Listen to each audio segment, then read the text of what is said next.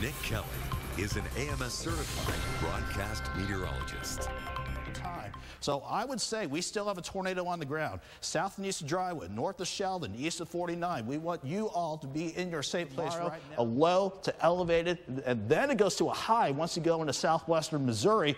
The prime time, 2 o'clock in the afternoon to about 11. Wind and hail, I think, are our biggest threats for tomorrow with the high. The winds around it will really start to come out of the southwest tomorrow. So it'll be a bit of a windy day to start the week ahead, but we'll be in pretty good shape because that southwest wind will mean temperatures going well into the 70s. So we start. You may need the heavy jacket in the morning. But we'll have the sunglasses ready too because we'll have a lot of sunshine throughout the day. It's a nice change of pace to finally say that. 44 by lunchtime. North and west of Joplin, north and west of 44 picked up a quarter to half an inch of ice. Even a few spots right around Columbus maybe picking up six tenths of an inch tops, but that was about it. And they'll have designated safe spots for people to go should severe weather hit. Thankfully, North Park Mall clearly has their safe spots labeled. The mall staff will direct everybody to the storm shelters across it's going the feel mall. like summer, even though we kick off fall on Thursday. Highs near up the upper 80s to about 90. We got spoiled a little bit for a couple of weeks there, I think, when it was unusually cool for the time of year. We're getting back to what we should expect, I suppose. Yeah, at least a few more good days this summer, and we'll see if we can cool things down next week. Sounds like a good plan. Thanks, Nick. Andy.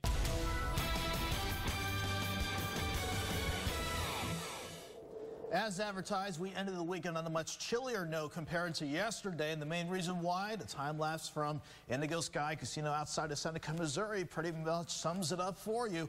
We had quite a bit of cloud cover today, a little bit more than we were anticipating. And when we have cloud cover this thick and this stubborn not to let go, that is going to make an impact on temperatures. Take yesterday, for example.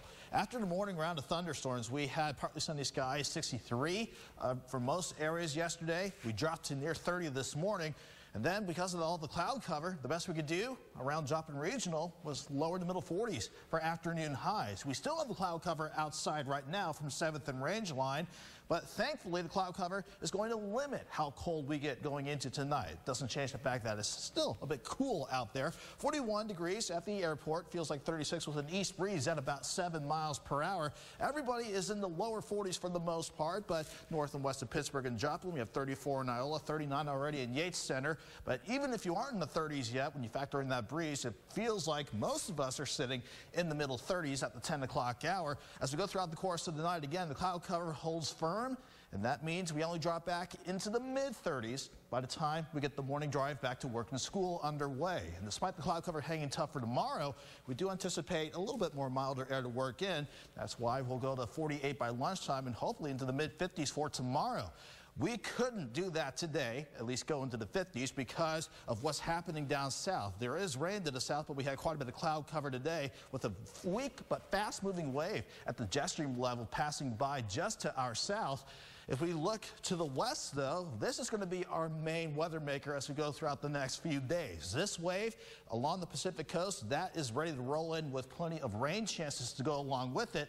Thankfully, it's not tomorrow. Moisture out ahead of it will mean quite a bit of cloud cover for us, but we stay dry for your Monday.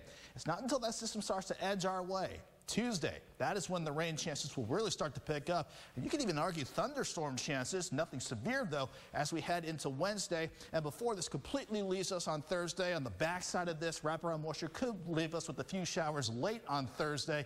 But the main days for accumulating rain isn't tomorrow. It'll be Tuesday, by about 7 o'clock with rain amounts close to half an inch. By the time the system's pretty much done with the heavy rain, we can see an inch and a half to about two and a half inches. It all depends on where the rain wants to set up.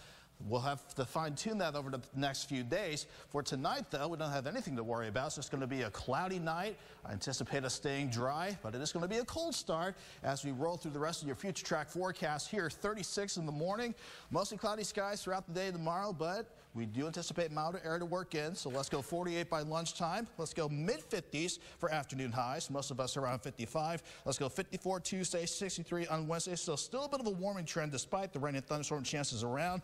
Then on the backside of Thursday system, Lisa, we are looking quite cool going into the coming weekend. All right, we'll break out our umbrellas. Thanks, mm-hmm. Nick.